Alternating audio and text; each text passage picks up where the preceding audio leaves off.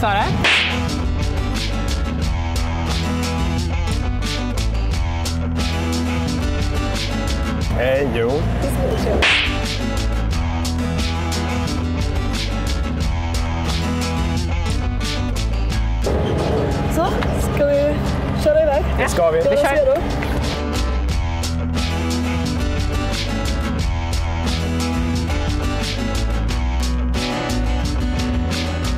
Men det måste ju finnas på båda.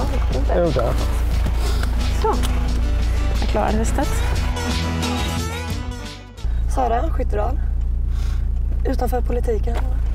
Ja, vem är jag då? Nu är det ju valrörelse så då blir det väldigt lite timmar över. Men, Ja, när, jag, jag men när jag väl har timmar över så försöker jag prioritera att eh, träffa vänner. Jag är en del på, eh, på gymmet. Jag försöker, vissa tränar inför Beach 2014. Ja, Jag ja. försöker liksom eh, vara stark inför val 2014 om man ska liksom Ja. Ja, men det är upp dag och natt klistra upp affischer och springa runt. Men Du Så- varit iväg nu och klippt upp affischen. Ja, nu har jag varit i Tingsryd på morgonen. Tingsryd. Mm, träffat lite företag och sådär. Ja, kul. Ja, nej, det var trevligt. Ja, hur är det med dig här då? Du har Eh, ganska nytt namn. Ja, jo, jag kom in lite hastigt i politiken i vårvintern här. Eh, och eh, första namn eh, för Kristdemokraterna i Växjö till kommunfullmäktige. Eh, och eh, jag har väl varit med i politiken, jobbade som politisk tjänsteman tidigare för, för partiet. Men inte som politiker. Alltså. Eh, och jobbade då inför valrörelsen 2010 och även EU-parlamentsvalet 2009. Hoppsan! Tänk förolyckas två stycken Ja, då är främsta politikerna kört för partiet. Ja.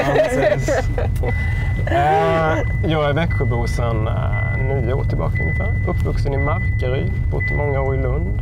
Eh, och har jobbat, nu jobbar jag, jag har politiska uppdrag, sen så jobbar jag vid sidan av det som eh, inom Växjös vikariepool. Så jag jobbar som lärarvikarie. Ja, Jag är runt på en väldig massa skolor. I, Ja, det är inte bara en skola då? Nej, nej, nej, nej. Har man barn i eh, grundskoleåldern så är risken stor att de har blivit utskällda av mig. naturligtvis.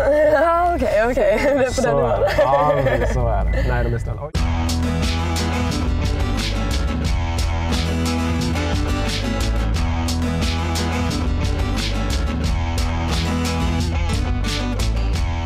Men det är inget eh, gym då inför valet 2014 som Nej, gäller? alltså gym, jag är ingen gymkille. Men däremot så älskar jag idrott. Uh, spelar mycket innebandy, uh, springer mycket, spelar också lite volleyboll. Eh, Så det försöker jag göra så ofta som det bara är möjligt. Ja, men precis. Men jag springer bara när det är fint väder. Det är en sån grundregel. Ja, det- Inte när, alltså en sån här dag hade jag inte sprungit. Då är det lite svårt i Växjö, för här är det väldigt väderberoende. Exakt, jag är tacksam för det. Men det är som du säger då, det är inte mycket fritid nu inför valet. Alltså nu, så, det är ju också så att någonstans när man håller på med politik så gör man det för att man tycker att det är kul och stimulerande och någonstans blir det en form av kvasi Ja, fritid. Eh, nu har jag ju förmånen att vara heltidsarvoderad politiker då, som ordförande för Kristdemokratiska ungdomsförbundet. Och då kan man ju, eh, då, då har jag liksom inte ett vanligt jobb. Det har jag haft förut. Jag har jobbat inom eh, försäljning och marknadsföring framför allt Ja, tidigare. precis.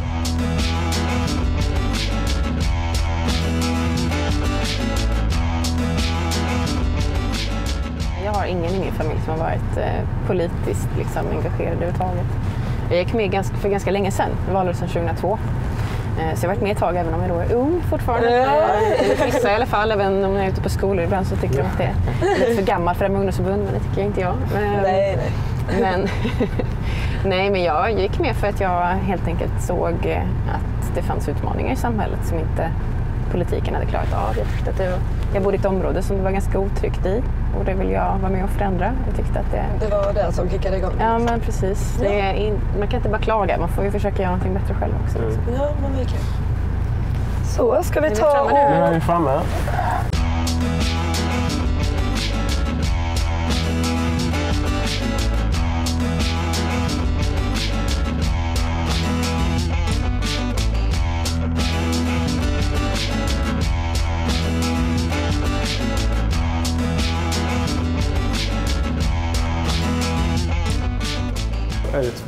Ja. Mm.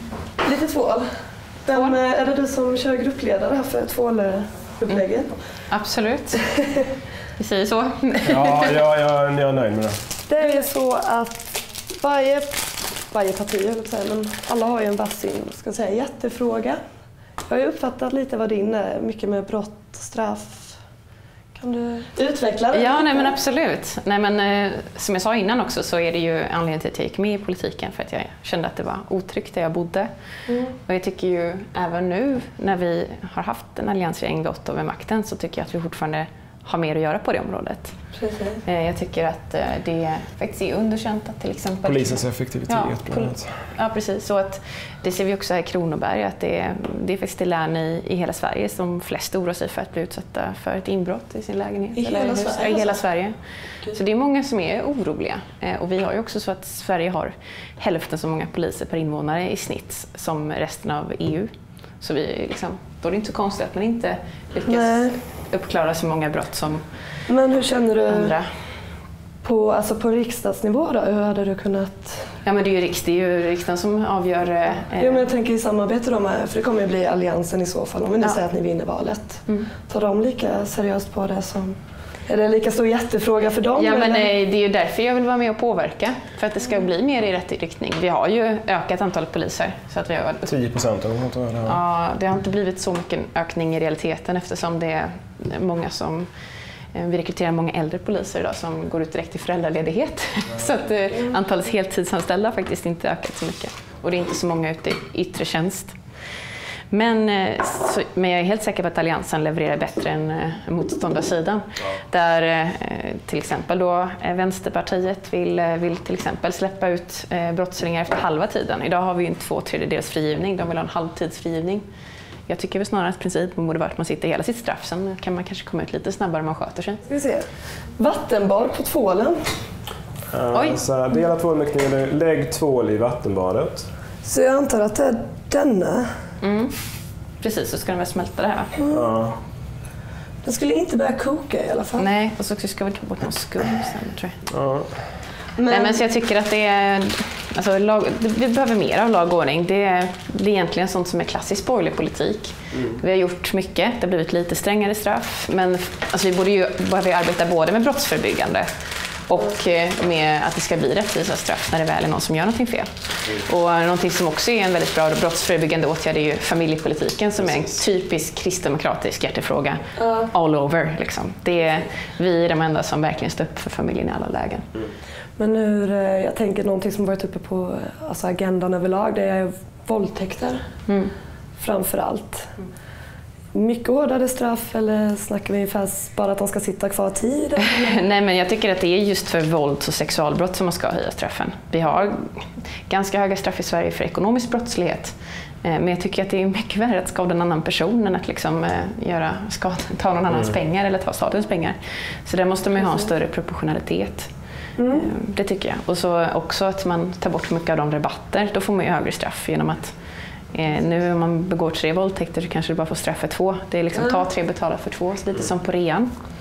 Jag vet inte om man ska ha rea på straff. Ja, ja, ja, ja, ja.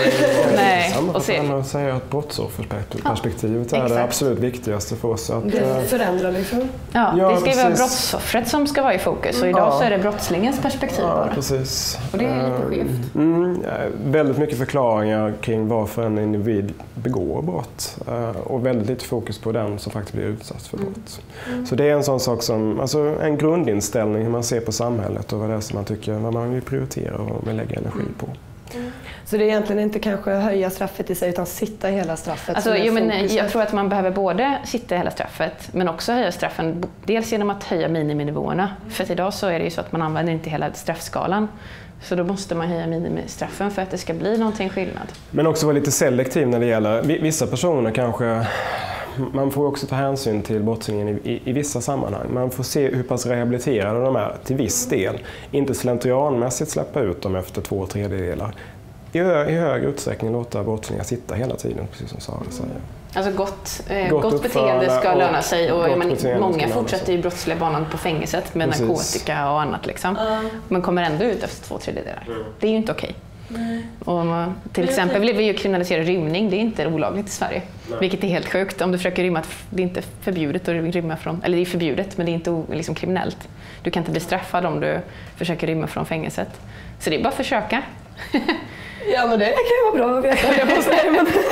Ja, det tycker jag. Men det var ganska mycket debatt om det. Det var ett tag som, det här är även 7, 8, 9, 10 år sedan tror jag ungefär, som det var ganska många spektakulära rymningar. Ja, nu har rymningarna gått ner väldigt mycket och då har debatten försvunnit lite grann också. Men för 7, 8, 10 år sedan så var det riktigt grova fångar som, som, som flydde ganska enkelt. Det var nästan lite klipp upp hål i staketet typ, sen så ut. Ja. Men det är ju rätt många som rymmer under per- permission. Permission också. Ja. Och det är inte, Avviker. Ja, avviker. Och det har ju varit när någon mördades nu bara för några månader sedan. Så precis. var det ju någon som faktiskt eh, gjorde så. snabbt. Ja. Och det är som sagt då inte någonting man blir straffad för att man gör så. Vilket jag tycker är fel. Och partiet också. Har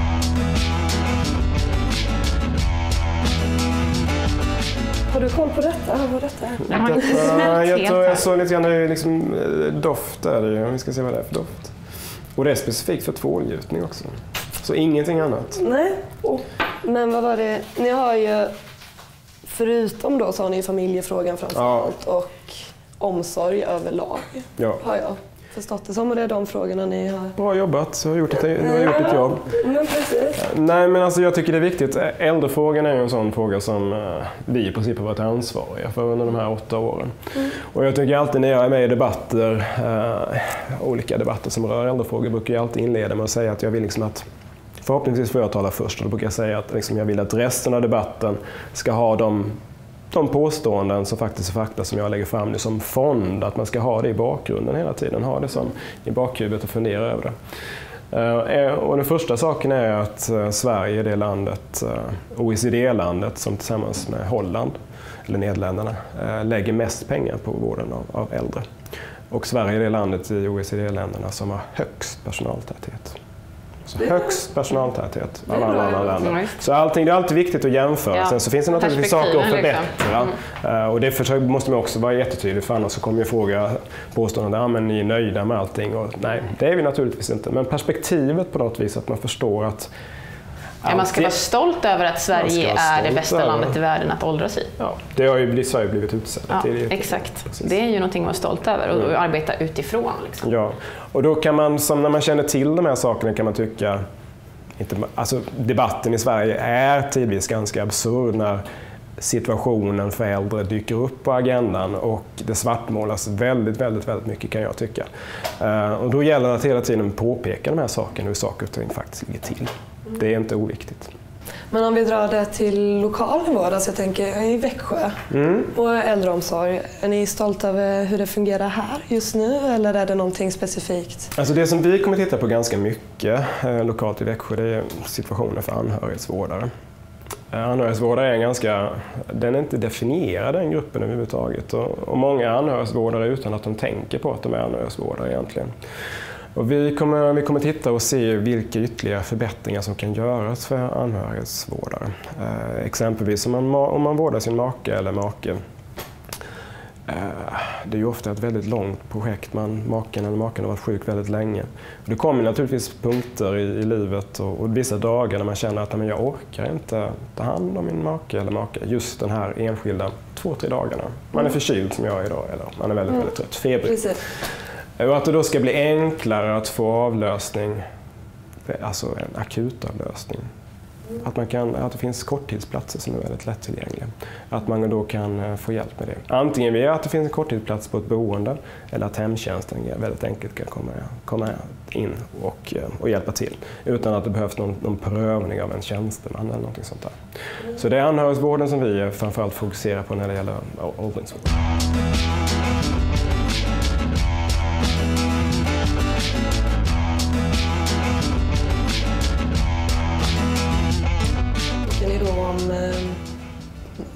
Anders Borg och hans politik, senaste finanspolitik? Är ni glada över alltså skattesänkningar som Ja. vänstern kritiserar eller? Jo, alltså, vi har ju som- lyckats sänka skatten Mm. samtidigt som skatteintäkterna har ökat. Det är inte så att det är ett nollsummespel, utan genom att sänka skatten på arbete eh, så har man också kunnat liksom, göra att fler kommer i arbete. Vi har färre i utanförskap, fler som arbetar och då blir det mer pengar i skattekassan. Sen så tycker jag det är viktigt också att vi, en skillnad från Anders Borg då kanske, är att hur man ser på skattesänkningar, åtminstone hur jag ser på skattesänkningar. Eh, jag tycker inte skattesänkningarna bara är till för ett, liksom ett instrument att fler ska komma i arbete. För min del så får folk gärna jobba mindre tack vare att de får möjlighet att behålla mer pengar. Allting handlar om vad man får bestämma och göra själv. Får man lägre skatt kan man också välja att på eget bevåg vara hemma längre med sina barn. Alla den typen, för liksom, i grunden handlar sänkt skatt om ökad frihet. Mm. Det, är liksom, det är det som är det centrala. Sen tycker jag att Anders Borg trycker alldeles för mycket på att fler ska arbeta. Mm. Det är inte det viktigaste i livet. Det viktiga är att man får bestämma själv vad man vill göra. Mm. Nu tror jag den här tvålen är redo att göra oss någonting. Vi kör den. Från, vad är nästa steg? Ja, det är väldigt oklart. Jag har stått och tjuvkikat. Ja, ta bort skum, det kan vi göra. En figur i behållaren. Alltså vi ska göra, alltså, vi kommer liksom lägga olika. den och sen så kommer vi, ska vi nog hälla, bara hälla på så vi ja, får en liten söt uh, tvål med en liten figur.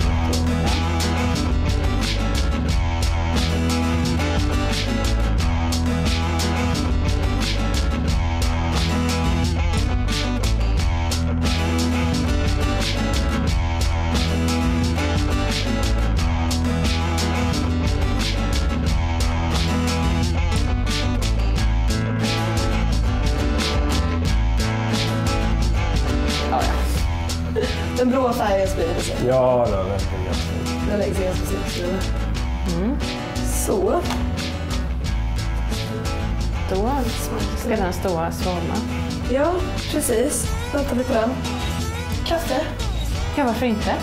Ja, sån där icke-kaffe. Icke-kaffe. Oj, oj, oj. Kör vi på det? Mm, jättebra.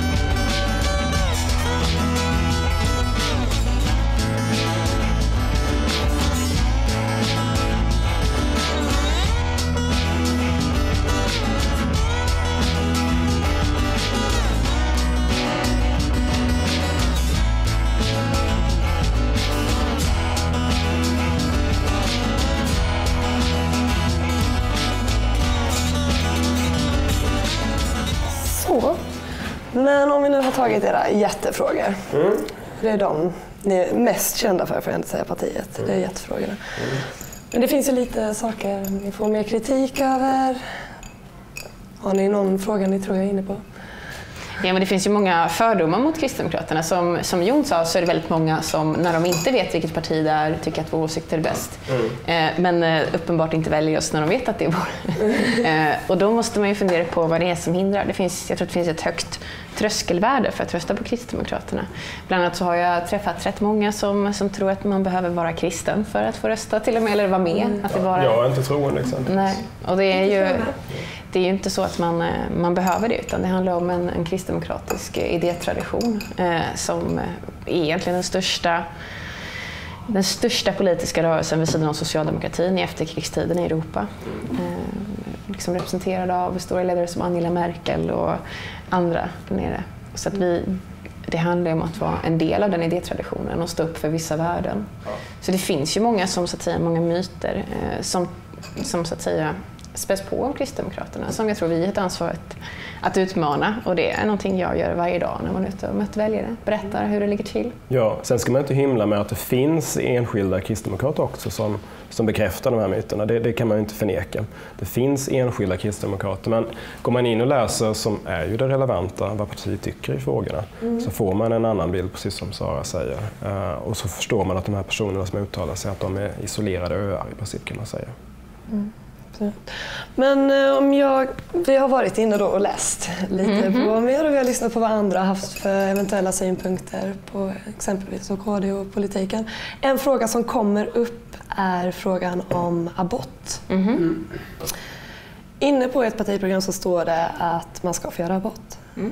Man ska få hjälp. Men det står inte konkret vilken vecka och innan har detta varit en fråga som har varit lyft fram lite negativt av Kristdemokraterna. Mm. Nej men alltså det, jag tycker egentligen att den frågan är jättesnabb att besvara. Ja, jag, tycker, alltså, alltså, för jag har inga problem att diskutera den och jag tror inte du har alltså, det. Alltså. Grejen är att eh, alltså, alla partier i riksdagen står bakom svensk abortlagstiftning. Mm. Mm. Men till vilken vecka?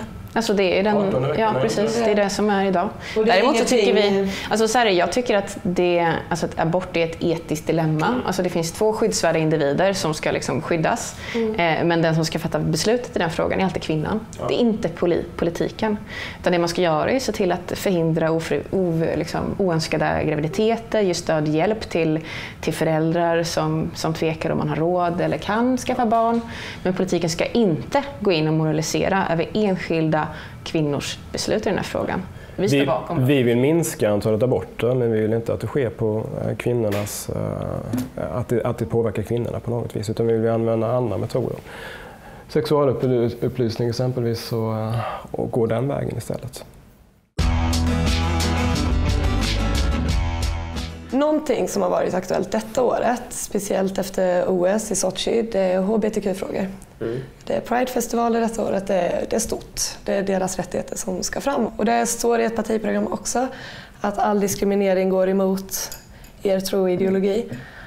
Men när man läser rätten till att adoptera så står det att man ska försöka hitta en så lik uppväxt som barnet hade innan, det vill säga med en mamma och en pappa. Betyder det också att ni ställer er emot homosexuella och deras rätt att adoptera? Alltså jag ser det så här, eh, homosexuella och precis som andra ska ha exakt samma rättigheter som andra. Mm. Men jag ser inte frågan om att skaffa barn som en rättighet, utan rättigheten ligger i att ha föräldrar. Barn har rätt till föräldrar.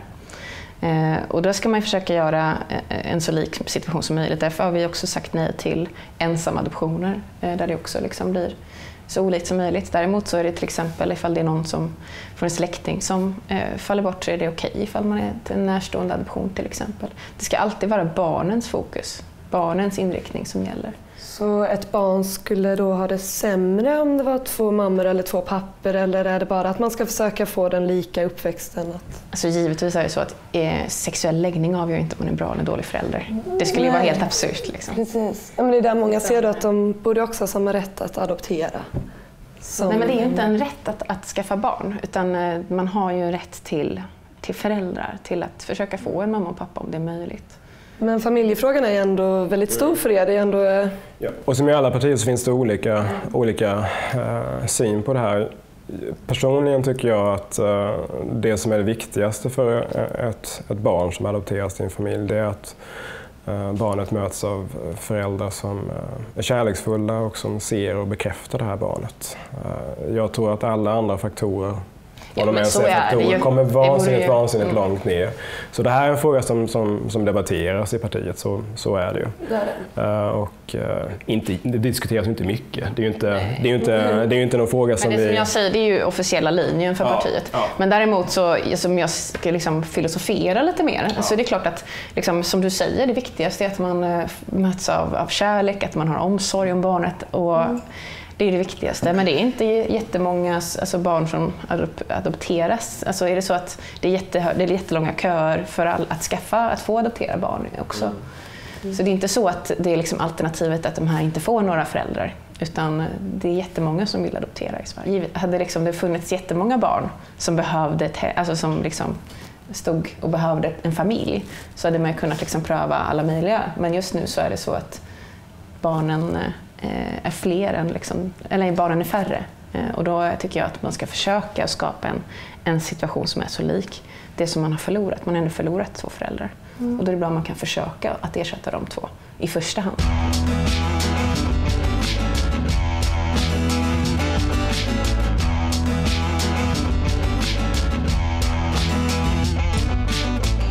Men om ni får tänka er att ni vinner eh, valet nu. Mm. Hur... Det tänker jag jämt. Ja. Precis. Ni får två mandatperioder till. Vi tänker oss lite in i framtiden. Hur är er vision för Sverige? Några korta meningar. Ja, alltså jag hoppas ju att vi fortsätter att, att sänka skatterna. Inte då bara på grund av arbetslinjen utan för att vi, vi då kanske kan ha, skapa ett samhälle som präglas mer av samhällsgemenskap. Där människor tar ett genuint ansvar både för sitt eget liv och för varandra. Där man har ett mm. samhälle som, som präglas inte bara av arbetslinjen utan också av relationslinjen. Där man har tid att prioritera kanske det som är viktigast i livet, vilket kanske är då ens nära vänner, ens familj, att kunna ha ett samhälle som, som håller samman på det sättet. Mm. Det, det tror jag att vi behöver skaffa. Jag tycker att vi ska sänka skatterna för fler jobb men också för starkare familjer. Det tror jag är enormt viktigt. Eh, vi i Växjö kommer att fokusera ganska mycket på vårt mål i att Växjö ska vara Sveriges miljövänligaste, jag säga. Mm. barnvänligaste kommun. Och vi vill gärna säga att vi jobbar väldigt mycket med utbildningsfrågorna men också ungas, eh, ungas mående helt enkelt. Och, eh, vi tror ju att den bästa investeringen ett samhälle och en förälder kan göra det är faktiskt att tillbringa väldigt mycket tid med sina barn. Lågt i åldrarna. Vi tror att det betalar sig väldigt mycket i tonåren, resten av livet helt enkelt. Att det skapar en trygghet som är en fantastisk tillgång på alla sätt och vis. Ja, bra. Mm. Det låter klockrent.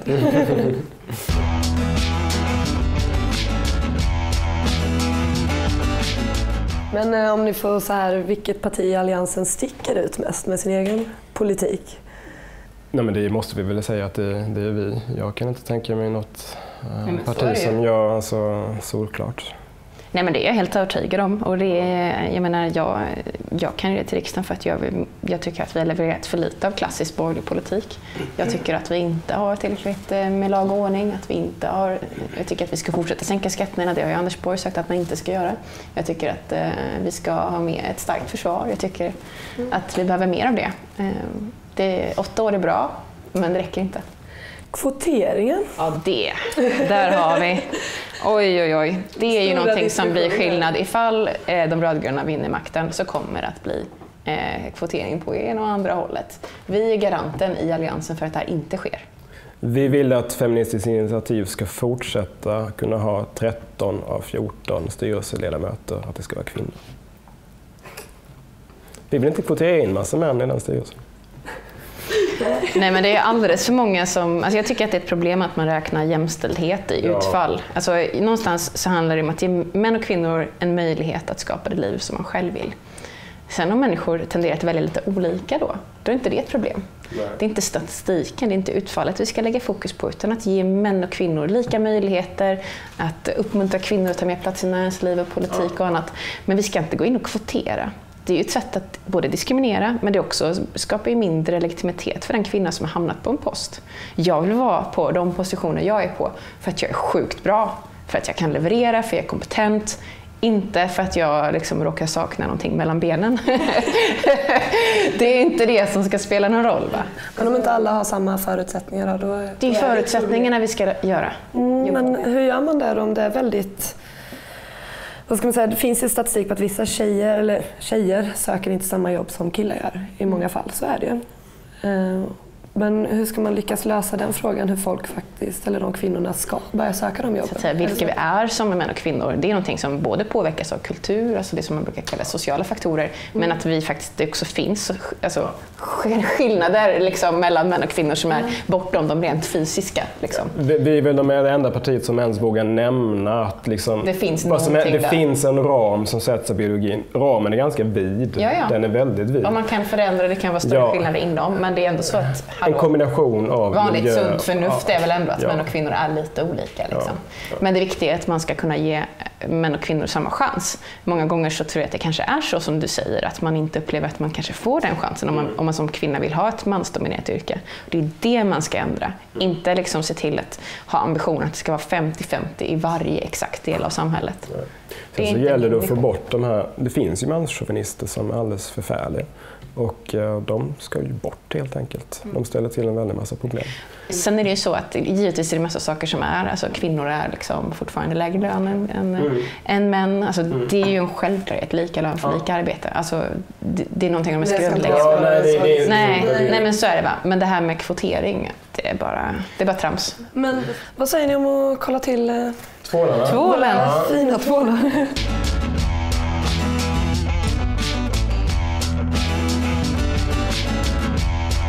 Titta! Isbjörnstvålen. Det är en isbjörn, jag lovar. Fast på andra sidan. Ja. Men det är bra. Fisken där ser lite, lite röd ut. Jättejobbigt Ja, nej, men tusen tack för att ni kom hit. Tack själv. Ni får jättegärna ta med er tvålarna hem. Mycket bra jobbat. Tack så mycket. Jättetrevligt att träffas. Tack så mycket. Tack så hemskt mycket. Då tar vi varsin. Ja.